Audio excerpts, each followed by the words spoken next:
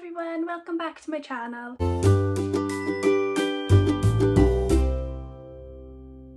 Angle of this video is slightly weird is because my tripod's decided to break so I've had to like prop you on my hairdryer box and I feel like it's slightly wonky but it's just gonna have to do. I've got an exciting video today so as you will know if you've watched any of my videos before, I really love Stephen King and this has only been like a recent occurrence that I've started collecting his books. We're going back to September last year so it's not really even been a year that I've been reading Stephen King but as you can see I got quite the collection coming along and at the start of the year, Hodder, so they announced that they were doing new releases of the books and I was super excited as soon as I heard but part of me was gutted because I really love the Halloween editions and I thought that maybe they would be carrying on with those but now that they've got this new collection coming out I'm assuming that the Halloween editions are sort of dead in the water. So yeah, they'll be being released in batches up until the anniversary edition of Carrie is released. So when I saw these editions online, I was in two minds about whether or not to collect them at first because I really did like the editions, but then part of me was like, do I really need to collect another collection of Stephen King books when I've just nearly completed my Rainbow Hodders. I mean, I've got one left and it's a promotional copy. So for all intents and purposes, like my collection is complete and I was like have I got the space have I got the money but naturally as any collector or any fan of a book series will know I've started collecting them. What I love about these books, I will obviously show you them all in more detail because I've now got all of the ones that they've released in the first batch. I'm hoping, fingers crossed, that the unboxing that I'm about to show you from Waterstones is the final one that I needed. It was the right ISBN, it was the right photo, so I feel like it's been long enough now that the book has been out that is going to be the new edition but we shall see. So these new editions they are kind of like the Rainbow Hodders because they've got different coloured spines and they're kind of like the Halloween editions in how the front cover is sort of laid out. If you've seen them already, then obviously you'll know. And these are the UK editions. So if you are in the US, obviously they're not being released in the US, but if you go on Book Depository, I know they've got like a big collection of these so far. I think they've got the six that's been released. I'm just going to be collecting them as they come out. I think they said they may be releasing like two or three batches a year. So it's not too bad because it means you can sort of split up the costs. And I think I paid between like 8.99 to 10.99 for each of these books or when I had free with Waterstones and the way that their vouchers work. What I love about these books is that with the Rainbow Hodders, if I show you show you Black House for instance.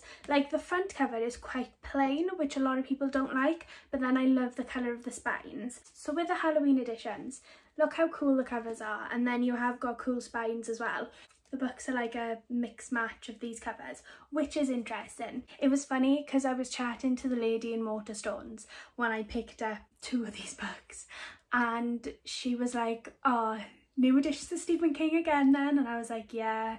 And um, she said like it just seems to be like every month they release a new editions of Stephen King and it's so true. Like there is just an endless amount. So anyway I digress. Let's jump into the books so the first one that I've got is Firestarter and I'll show you a close-up of the book. So as you can see, super bright, super colourful and then you turn the spine and then it has Stephen King. So it is set up in a very similar way with the name of the book and then Stephen King. This is like the chilling classics and then I think they're gonna come out as they released in different groups. So I don't know whether maybe the spines are going to be a different colour for those or whether the font is going to change. They haven't really said an awful lot. But yeah, this is the first one, Firestarter. When I purchased it, I, this is one of the ones that I got last. I'm not sure if you can see, if I can tap the screen. Can't really see it but there was a line and I thought it might have been a printing error but it's actually on all of them so it's not too bad. The next one and I picked this one up in Hay-on-Wye and I got it in the Richard Booth shop and this is Cujo so I'll show you a close-up of it.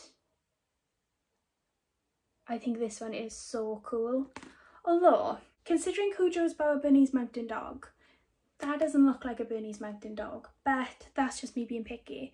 And then this one has an orange spine, again it's got the same font, and then this is the back. I have slightly damaged it when I was bringing it home in my bag. The third one that I picked up, this was another one that I got in Waterstones, and it is Salem's Lot, and I'll show you in closer detail. I'm pretty sure I did end up picking all of these up bar the one in Hay-on-Wye in Waterstones. It's like a mustardy sort of colour and love that one as well. And then the fourth one is The Shining and I'll show you a close-up of this one. Obviously you've got the corridor of the Overlook Hotel and this one is green and then the back is green as well. And again it's got the same sort of colour themes running through it. And love that one. I love the font on the front as well. And like it's quite simple but I feel like they like they're a nice modern cover because a lot of the older Stephen King books um if I sort of show you this one so like the old Stephen King books are quite dated and I know they're not for everybody. And then to go with The Shining, this is what I meant when I said that they're not all older releases. So yeah, and this one is linked to The Shining. I haven't finished The Shining, so I'm not 100% sure how this is linked, and I don't really want to look too much into it because I don't want to have any spoilers. But this one is a darker green then, and love that there's a cat on the front. I'm really interested to see why there's a cat and yeah that goes together. And as you can see like the shining is slightly lighter than this one. So I feel like they are going for like a rainbow theme. So I'm not sure how that's going to work. What I would really really love to see is them do the rainbow theme but going from like the books that were released first to the books that were released last. Because with the original Rainbow Hodders they're not really in sort of any order so the colours for me don't make sense because if you put them in publication order which is what I would like to do the rainbows all over the place and I don't know it doesn't look as aesthetically pleasing to me so it's something that I've just avoided doing is in rainbow order instead. But it would be really lovely if these ones could be in chronological order. So Moving on to the next part of this video. So I have my Waterstones order, so I'm going to open it on camera and you can see my reaction to the last one. I've been buying quite a few books from Waterstones over the last sort of couple of months. I've bought a few on the website, a few in store because they were doing like the double points and obviously that helps you get to the free book quicker. So when I reached it, I I discovered recently, I don't know whether it's a blessing or a curse, but basically if you have a pre-order on Waterstones, I assumed that you had to pay for the pre-order outright and I've always been reluctant to do that because every time like I see that there's a book that I fancy being released, it's sort of halfway through like the month or it's just before payday and I'm like, oh, don't know if I can justify it yet. And then I wait until payday and then a lot of the time like the book has already been sold out if it's a special edition because I didn't realise that the payment doesn't get taken out until the publication date, which is amazing. I mean, it is until it comes to the publication date when there's a few being published in the same week and a bank account's crying. But that's a problem for the end of the year, you know? So anyway, I've been saving up those and I've been adding quite a few to my basket. And then I realised that I had a free stamp. And I was like, oh, I don't know what I can spend it on. And then I realised that I still have one left to collect of the Stephen King books. So Gonna open it now and we're gonna see if it's the right edition. Keep your fingers crossed, send all the good vibes. I feel like it is gonna be the right one. If it's not, I'm just gonna be a bit gutted and I... Oh god, right, okay. Can never open things on camera. is it going to be the right one? The last one is Christine. I didn't think I was going to like this cover as much, but I love it. I'll show you a close-up.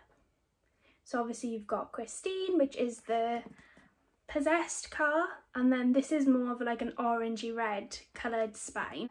So that's the last one. These are what they look like all together. As you can see, they have started to go with like the rainbow theme, but Interestingly, obviously these have not been released in publication order. I just had a check and while these, apart from Doctor Sleep, are all sort of like the classics, they're not in publication order yet. So it's going to be interesting to see with the future releases if the other books, sort of like The Stand, Night Shift, I'm not sure if, I'm assuming they're going to publish Night Shift as well because I know it's like a collection of short stories slash novellas but obviously it's still a release so it's going to be interesting to see if these slot in with the colours? I'm going to be like low-key gutted if they don't. But we shall see. But yeah that's them all together. And what do you think? Do you like them? Do you think that they're worth purchasing? Are you going to purchase them? I know like some sort of older Stephen King fans are not as fond of them so it'd be interesting to hear your thoughts on them and let me know which one your favourite cover was. I think my favourite cover, apart from Doctor Sleep, because obviously it's got a cat on it, I really love Christine. If you did enjoy this video, give her a thumbs up. Feel free to subscribe if you want to, if you're a Stephen King fan, if you're a horror fan. Thank you very much for watching this video and I will see you in the next one. Bye!